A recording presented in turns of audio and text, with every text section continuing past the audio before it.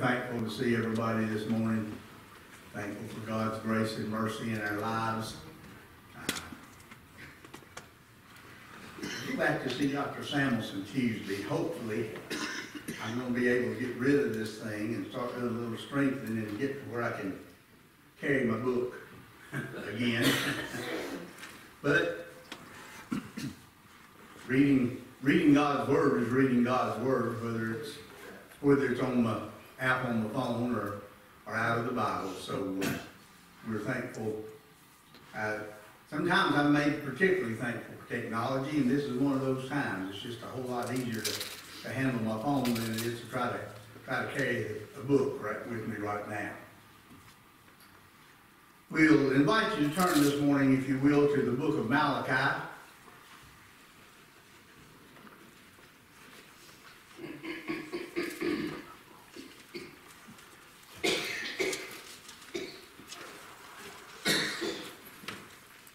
Malachi chapter 3.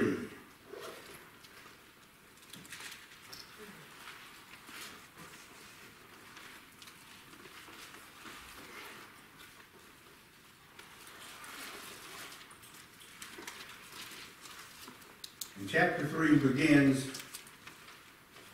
with the words of the Lord through the mouth of the prophet. And he says, Behold, sit up and pay attention.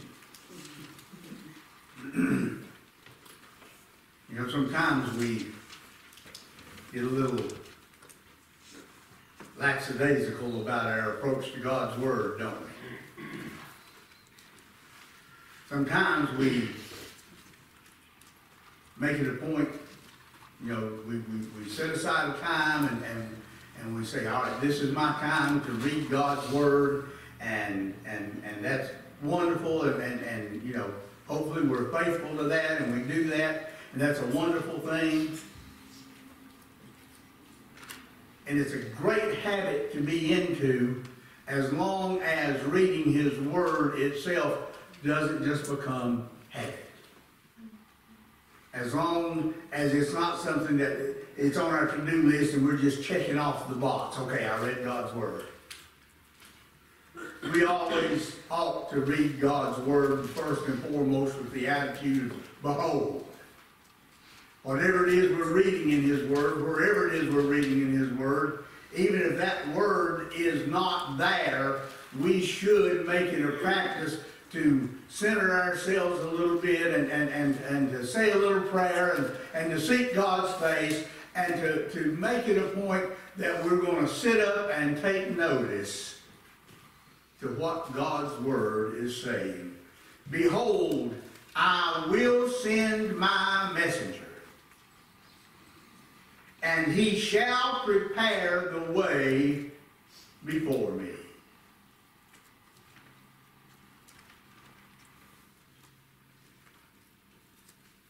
I will send my messenger. And let me assure you this morning that though I, I, hope and pray that if I, as I stand before you, that it's because the Lord has called me and the Lord has sent me and the Lord has given me a message. I'm not the messenger that he's referring to here. I will send my messenger and he shall prepare the way before me.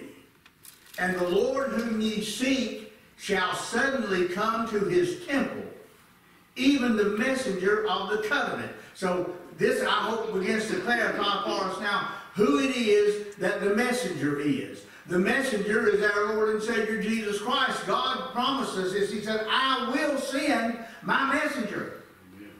He will come and he will speak those things that are right and true and holy concerning me. This is something I will do. God didn't say, I will send my messenger if or I will send my messenger because of something that you have done. He said, I will send my messenger. And he shall prepare the way before me. I will send my messenger. And he will come with a message of the covenant. He shall prepare before me the way that my people should walk according to my grace and my mercy and my majesty, the Lord whom ye seek. Child of God, who did you come here seeking this morning?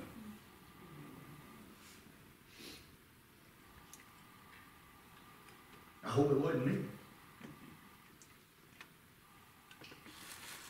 Because I'm not worth your time. I'll just tell you that right now.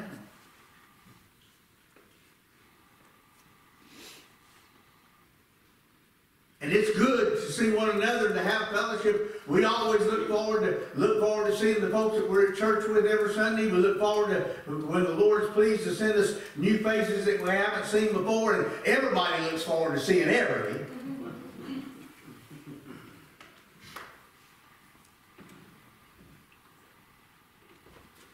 But that's not why we came here. That's not why we're here today.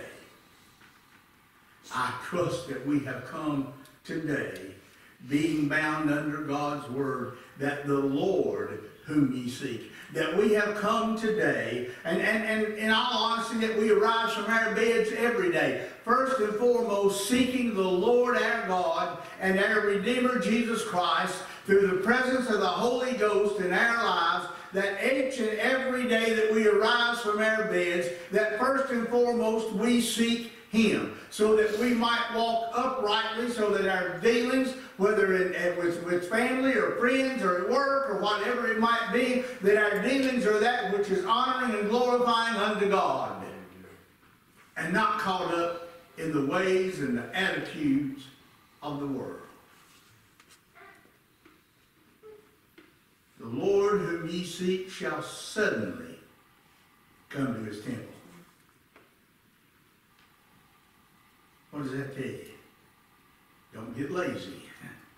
Don't get complacent. Because he hasn't shown up yet doesn't mean he won't show up before the next breath. And this, you know, this is what he told us. Jesus himself said, watch. For he comes as a thief in the night to watch, to pay attention, to, to always be ready. Now that, that takes a level of diligence that it only comes to us by the grace and the mercy of God to always stand ready for the sudden coming of our Lord and Savior. I'm so thankful when, whenever we have, by His grace and mercy, prayed and, and sung hymns of praise and, and spoke of His goodness and His greatness, and we find suddenly that He's in our midst. That we hear Him. As we sing, Blessed be the name of the Lord. Y'all sang that like folks meant it this morning. Heard joy in that. I heard worship in that. I heard praise in that. I heard the Lord in that. What a glorious thing. What a blessed thing to understand and to feel and to bear witness to the fact that God inhabits the praise of his people. That he dwells in your praise, that he lives in your praise. Shall suddenly come to his temple, even the messenger of the covenant, whom ye delight in. And you notice he didn't tell them that they delighted in the covenant. They delighted in the messenger. You see, we need to be careful that we don't get caught up in being, being delighted in our, in, in our name or in our congregation or in the people. We need to be, we need to always be delighted with the messenger. We need to be delighted with our Lord and Savior Jesus Christ, regardless of, whether we're assembled at Providence Primitive Baptist Church or whether we're sitting in Hardee's having a cup of coffee and, and, and, and begin to, I, have had this happen a time too. You start over here a, a conversation and they're talking loud enough and saying some things to, to, that, that are honoring and glorifying God enough that you're not afraid to join in and, and, and bear witness and, and bear testimony with Him. And the first thing you know, you got brothers and sisters sitting there talking with you and drinking coffee, and you probably, you may leave and not even know their names. Isn't it amazing that we've got brothers and sisters in this world, we don't have a clue what their name is? We may never know their name here, but we know they're brothers and sisters because they delight in the same messenger that we delight in. What a glorious thing that is. Behold, he shall come, saith the Lord of hosts. This is God's promise. I know, I know it was his promise to Israel in that day that Jesus was coming, that their Messiah would come. But I want to assure you that, that there is an essence in this that it is still true to us today. Behold, he shall come. He still is, he, he comes in the lives of his children. Some he comes to maybe for the for the, the first time that he manifested. We, we've all had that experience, haven't we? That first time that he made himself manifest unto us and caused us to know. But how many times since, child of God, has he come to us? How many times over the years have we found ourselves in need of him? And behold, he shall come. We find that God's promise is still true is still being fulfilled. That when we look for the messenger, he comes. When our delight is in the messenger, he comes. Because you see, if I'm delighted with the messenger, then I'm going to receive the message. And the message might not always be something I'd otherwise want to hear. But I know if this messenger brings that message, that it's for my good and for God's glory, and I needed it.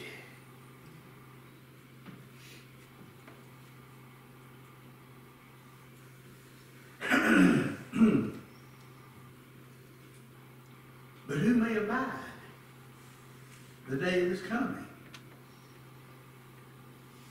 And who shall stand when he appeareth?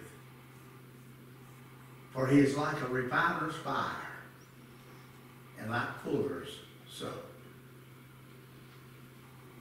Now, that doesn't mean that we won't live to see him come. That should be obvious to us by now. That doesn't mean that we can't live in his presence. That should be obvious to us by now. What it does mean is that I cannot boast of myself and live in his presence. I cannot cling to my righteousness and live in his presence. I cannot cling to my thoughts and my judgments and my ways and live in his presence because he's like a refiner's fire. He's going to burn all that away. He's like Fuller's soap. He's going to take all the stain out. He's going to get rid of, of, of all the dross. He is going to totally and utterly consume. This is what the coming of the messenger does in our lives. Every time he comes, he consumes more of that dross that we contend with. Now I know eternally he, he is he, we are we are clean every whit.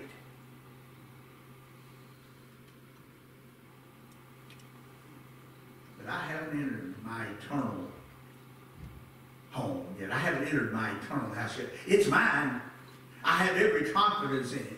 I have every belief in it. I'm thankful for it. I praise God for it. But right now, I'm still in this old house of clay. And I still need refining. And I know I've shared this with you before, but I'm going to share it again. It, it is a precious thought to me that in that day and time, when a refiner sat down to refine silver, and as he refined it, from time to time he would go and look at his reflection in that silver.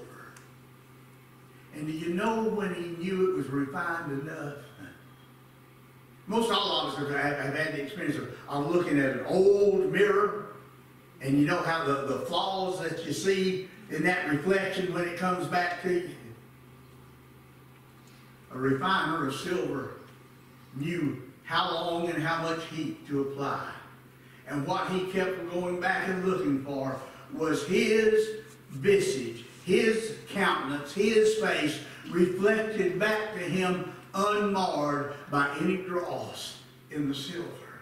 Child of God, how wonderful it ought to be to us to know that our Lord will continually put us in the fire, that He will continually draw us in, in and, and, as the potter remold and remake us as much as is necessary, knowing that each and every time that He does, that we get that much closer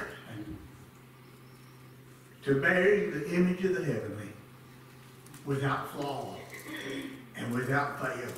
What a wonderful thing. And he shall sit as a refiner and purifier of silver, and he shall purify the sons of Levi. Remember, this is the priesthood. He shall purify the sons of Levi and purge them as gold and silver, that they may offer unto the Lord an offering in righteousness.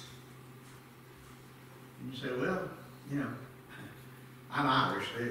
As far as I know, there's not any Jewish lineage in me. So what does this have to do with me? But I find the scripture teaching us that we have been made kings and priests unto God. Why was it that he was refining the why why he named Levi and didn't remain and didn't name any of the other tribes? Because he was talking directly to those that he had called and caused to serve him in his holy temple. And I will assure you to this day that he still labors diligently, refines, and, and, and deals with those that he has called to serve him in his holy temple. Now, to me, it's obvious that that's not all of his children. Because, first of all, that's the pattern he gave us. There were 12 tribes, only one of them was obligated, if you will, to the temple. The other 11 were his too. The other 11 were, were, were considered in the covenant. But he had not called them to serve the temple to serve the place where his messenger was going to come and dwell. To serve in the place where his messenger was going to come and prepare the way before him.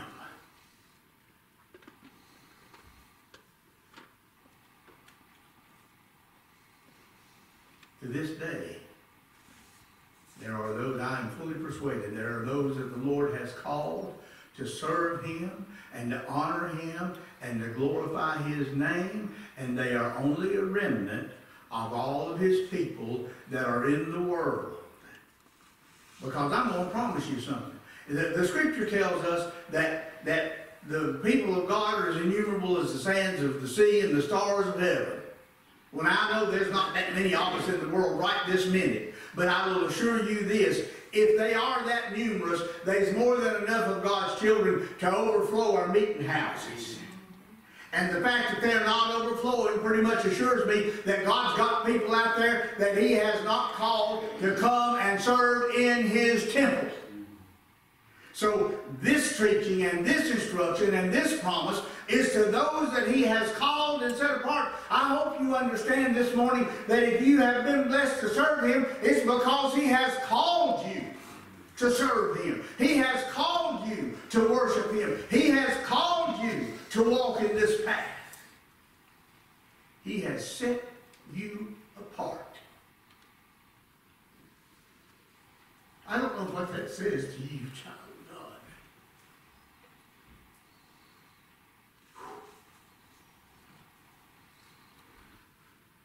But to consider that the God of heaven and earth would look at an old worm like me and set me apart to serve and worship Him. When you understand, when you are blessed by God to truly understand how unbelievable outside of His grace and mercy, then you can truly sing Amazing Grace.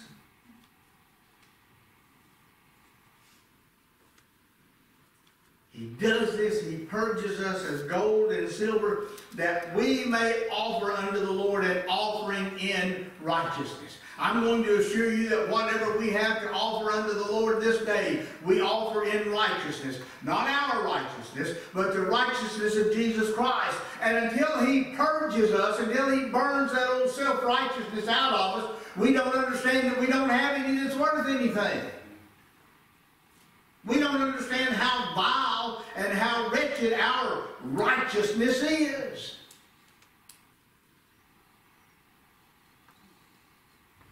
As filthy rags, the scripture says. It's not fit for anything. It's unclean. What good is an unclean righteousness? We have none. That, that's, that's, you know, if my righteousness is as filthy rags, we, we talked a little bit about this Wednesday night. It, it's amazingly that, the, you know, the scripture tells us what man is.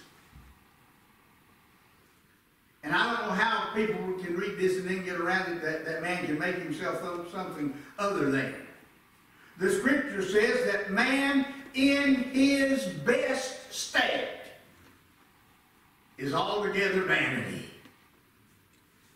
Don't make us very worse very much, does it? Man in his best state is altogether vanity. We like to look back and, and, and, think about Adam there in the garden before the transgression and how wonderful it all was and how good it all was and, and how amazing it all was. And I'm not saying it wasn't, but what I'm telling you is this. That was when man was in his best state. Man has never, uh, from, from, from a, a, a, human standpoint, man has never been in a better condition than what Adam was in in the garden. And in his best state, he was still before God altogether vanity.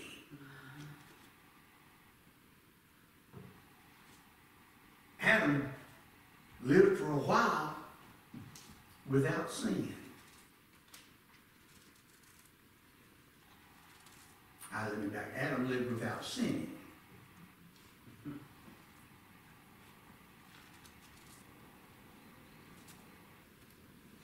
That's not something you and I can say. There's not a one of us that's ever come into this world that can say that we have lived without sinning. Man in his best state is altogether vanity. So what am I going to brag about before God? What am I going to do that, that's going to make God, that, that's going to obligate God to me? If Adam, without transgression, was altogether vanity, how can I think that I'm going to be anything other than outside of the grace and the mercy and the righteousness of Jesus Christ?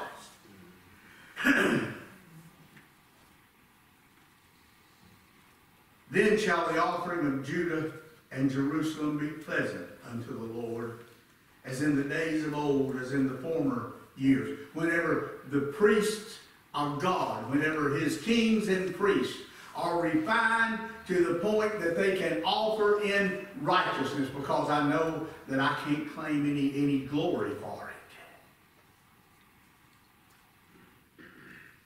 Then shall the offering of Judah and Jerusalem be pleasant unto the Lord, as in the days of old and as in former years and I will come near to you to judgment. And I will be a swift witness against the sorcerers and against the adulterers and against false swearers and against those that oppress the hireling in his wages, the widow and the fatherless, and that turn aside the stranger from his right, and fear not me, saith the Lord of hosts. You want to live righteously? Then it begins by living in the fear of the Lord.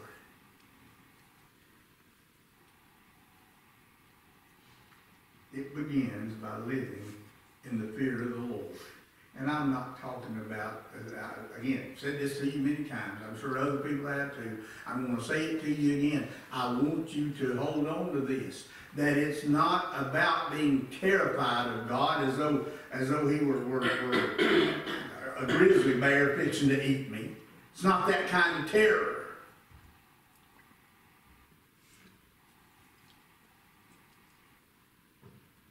I was never afraid that my daddy was going to disown me. Might have been a time through my life he probably should have, but I was never afraid that he was going to. There were times that, that, that he corrected me, and some of those times were, were, were with, with a good keen switch. And I'm not going to tell you for a minute that I looked forward to that, but there was never a time that I thought he didn't love me. There was never a time when I was afraid he was going to beat me to death.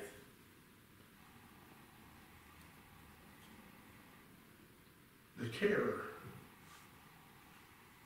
that I was blessed to feel always came from knowing that I had not done my best for him in the things that he had given me to do. I was far more afraid of the disappointment in his eyes than I was the switch in his hand.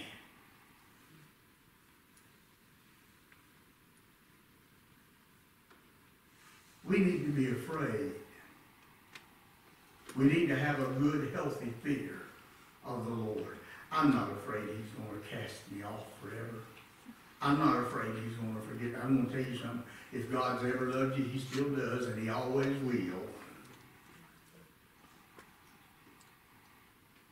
And you can't find a point in your life where you can say, well, this is when God started loving me.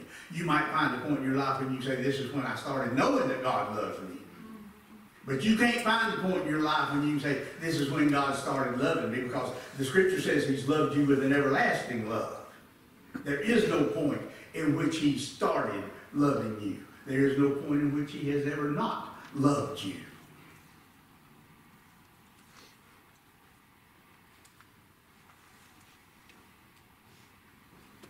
If you want to do that which is right in the sight of the Lord, just remember how much it hurts to know that you have not done that which is right in the sight of the Lord. Consider his holy and reverential fear first and foremost, and that will deliver us from all of the, literally, it will deliver us from all of these other things. I know some, you go in a restaurant sometimes and, and, and, and the service is, is maybe less than, than, you know, maybe less than deserving the tip.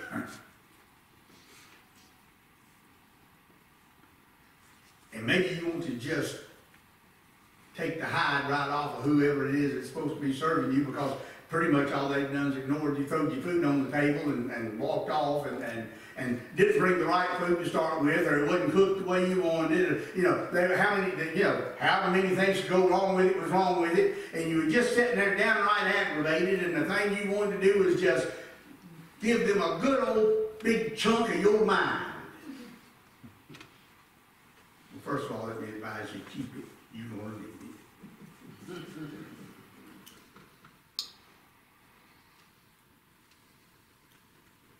Stop and think, first of all, about the fear of the Lord.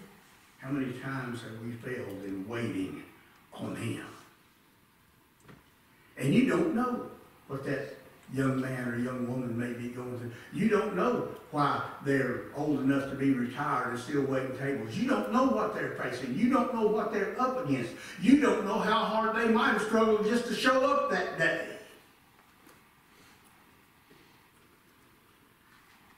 And if we'll remember first the fear of the Lord before we open our mouth, kinder things will come out than what we might have been originally thinking.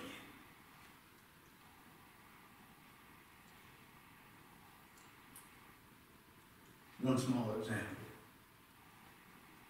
When you come to church, come with joy. Come with expectation. Come with anticipation. I hope that God has been good enough to us all that we can get up on Sunday morning and think about going to church and it's not like, man, I got to get ready to go to church.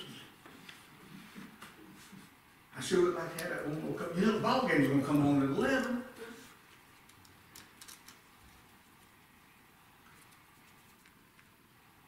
Thank you, God,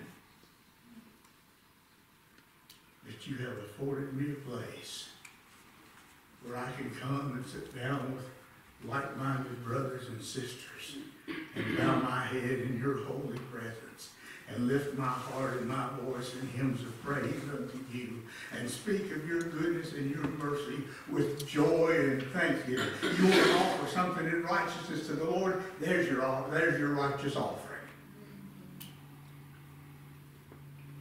For I am the Lord. I change not. Therefore, ye sons of Jacob are not consumed. I know I've preached from that here before. Just hang around, I'll probably preach from it again. But consider this I am the Lord. Not I'd like to be, not I want to be, not I will if you'll let me. I am the Lord. I change not. We don't know how thankful we ought to be for that. God was righteous in the beginning, and He has always been and always will be righteous. God was faithful in the beginning, He always has been and always will be faithful. God's perfect in the beginning, He's perfect now, and He always will be. He does not change. He, he does not fail. God has never failed. Now, you look around and you, and you look at the way things are in the world. So maybe you sometimes you look at the things, in, the way things are in, you, in your life, and, and, and maybe sometimes we're tempted to think, well, well God failed me. God doesn't fail. because the path didn't look like I thought it was going to, doesn't mean that God has failed. Because I had to endure some things that I didn't expect to endure does not mean that God has failed. Lord bless me to speak to the folks at Union Grove about the fact that God's way is perfect. You think about Elijah and the situation that he found himself in. But God's way is perfect. It brought Elijah exactly to the place that Elijah needed to be to give honor and glory unto God and to see God's power poured out upon the false prophets, to see the offering accepted. You think about that. He let them have all day. The, the prophets of Baal had all day to call their God to take up their sacrifice. And they wailed and hollered and jumped around and cut themselves and bled all over the place and, and, and, and evening come and by that point, I think Elijah was almost beginning to enjoy himself because he, he, he got, you know, he kind of got the egging him on a little bit. He said, cry louder. Maybe he's asleep. Maybe he's going on a trip.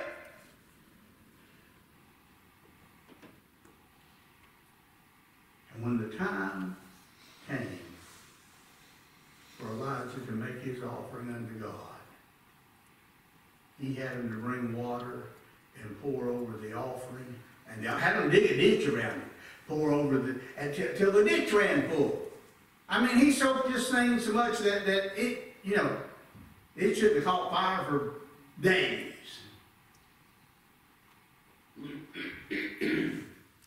And then he called upon the living God. And fire came down and consumed the offering and the altar and licked up the water out of the ditch. God's way is perfect.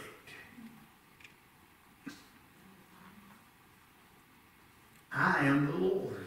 I change not.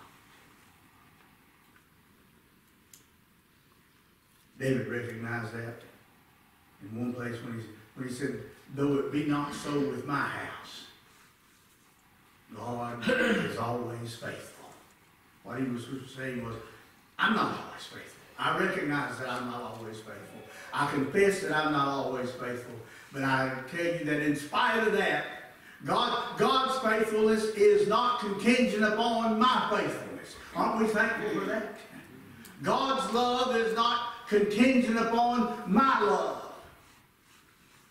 God's grace and mercy is not contingent upon my confidence in his grace and mercy. I am the Lord. I change not. And this is why we're still here. It's because God doesn't change. God's faithful. I am the Lord, I change not, therefore ye sons of Jacob are not consumed. What God, what God say? If I was a changeable God, I'd look at the way you've lived and the way you've done, and I'd say, hmm, I, I, I, I've had enough of that. It's because I don't change that you are not destroyed.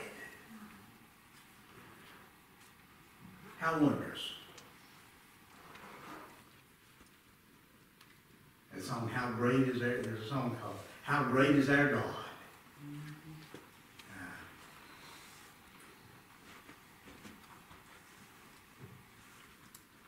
question that we really can't answer. Because he's able to do above all that we think or believe. Think about that. Your greatest imagination. Heard a minister one time say that the child would come and ask him if their, if their puppy went to heaven. He said, I didn't really know how to answer that. He said, but I finally just had to tell him, I said, you, you just you just imagine what it would take for heaven to be the most wonderful place you've ever been. And then just know it's going to be a thousand times better than that.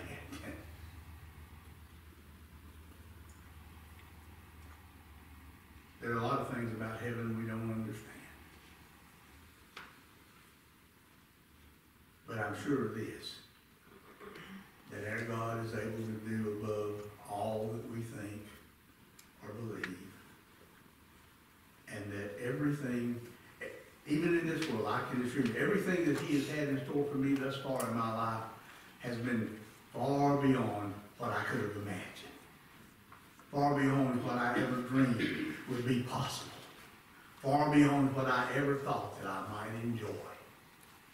And that being true, how in the world can I have any imagination about what eternity in His presence is going to be like? I can't tell you, I look forward to it. But until then, I look forward to the days he has for me here. May God bless him.